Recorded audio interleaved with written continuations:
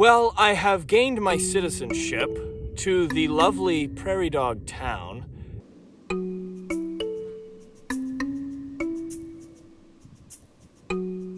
Hence the name prairie dog. Small dogs of the prairie.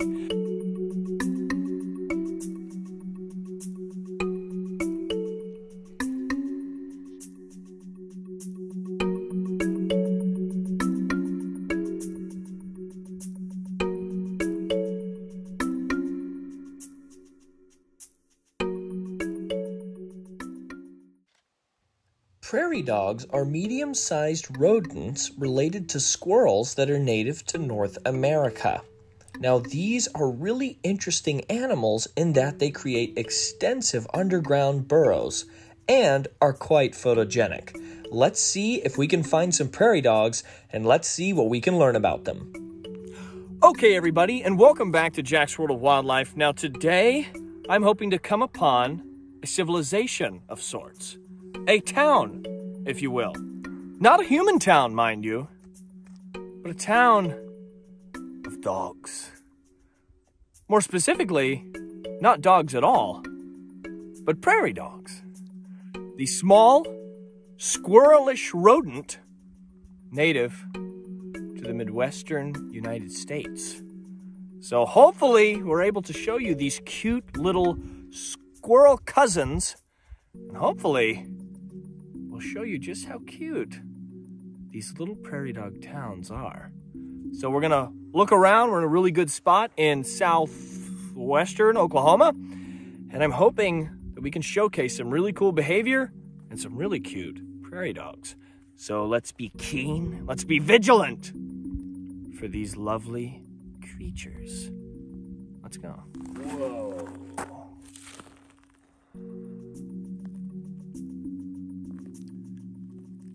Brownies for the road.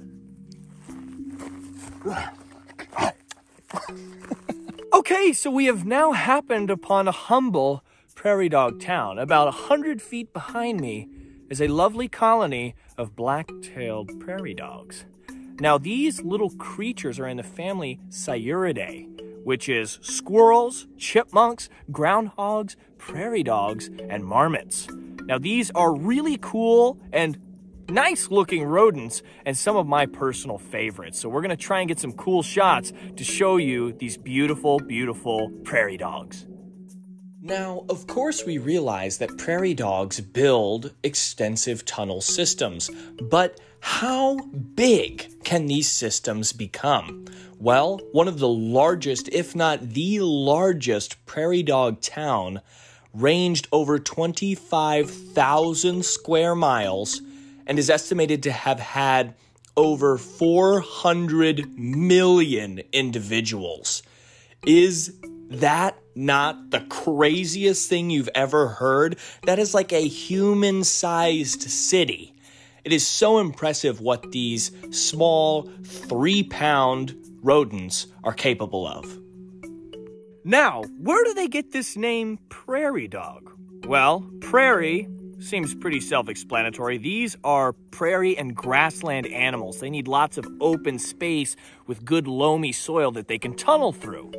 And then dog refers to the warning bark that these animals make when they see a predator or sense danger. And it's a little.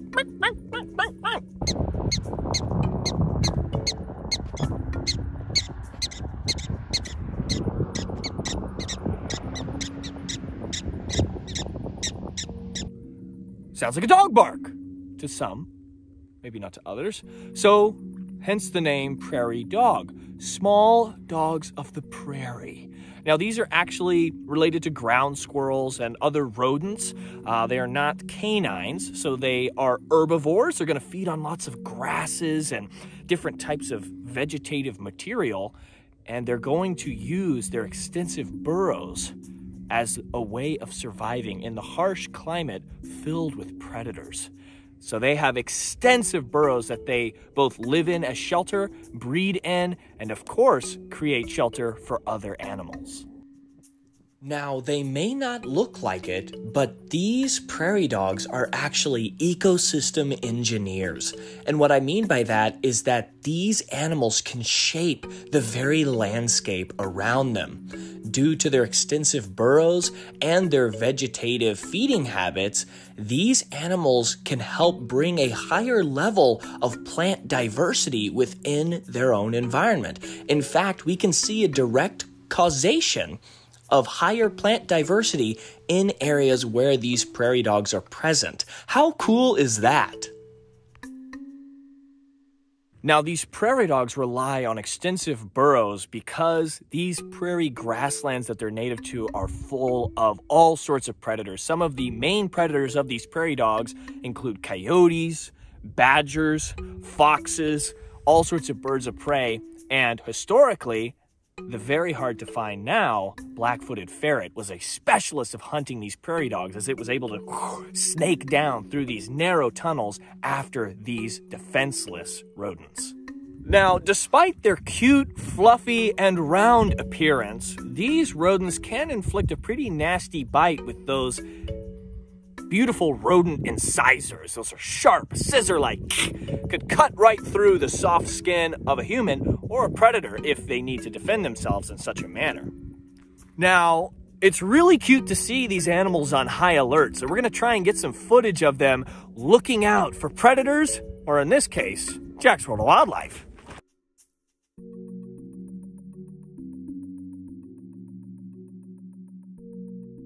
Now, living in a large colony means you probably have to get along well with others. These prairie dogs have extensive social bonds that can spread out through a colony. These animals can be seen interacting with one another, grooming each other, and even warning close relatives and family of danger first. It's really, really cool to see these cute little animals interacting with each other, especially when they're grooming.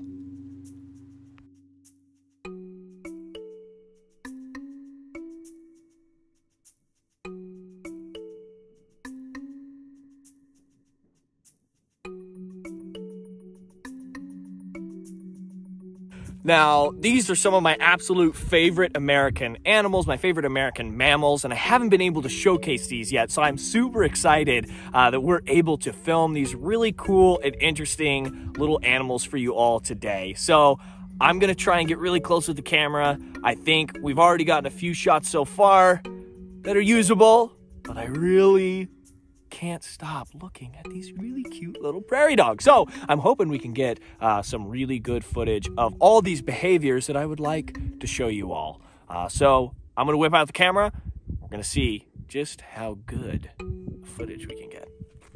Living in a semi arid grassland or prairie can be a challenge if you're on the hunt for water. So, prairie dogs have adapted a special trick in order to survive in areas that get little or no rainfall on a regular basis.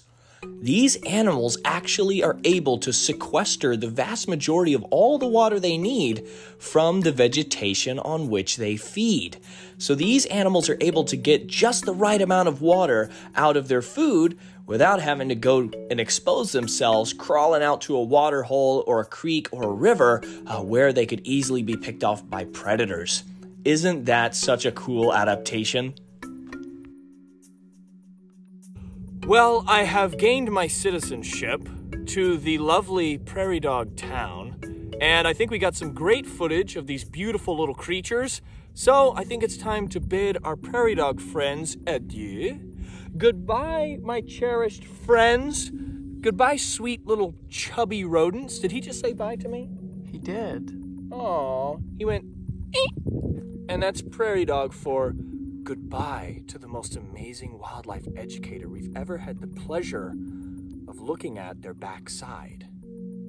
Thank you, Prairie Dog. That's so sweet. You didn't have to say that. I know there's probably plenty of other wildlife educators that have done a much better job than me, but you know, it just still feels good to hear it. So, with that, I'll bid you adieu once again. Bid you adieu, not the Prairie Dogs adieu, because I haven't bid you adieu yet. Thank you so much for watching. I hope you enjoyed our little bout in the prairie dog town. I know I did. They're so cute, they're so rambunctious and chubby. Big old fat prairie dogs, love them. But be sure to like, comment, share, and subscribe. Turn on post notifications if you enjoyed the video. Join our channel memberships, buy the merch, and of course, above all else, join us next time for the next episode of Jack's World of Wildlife.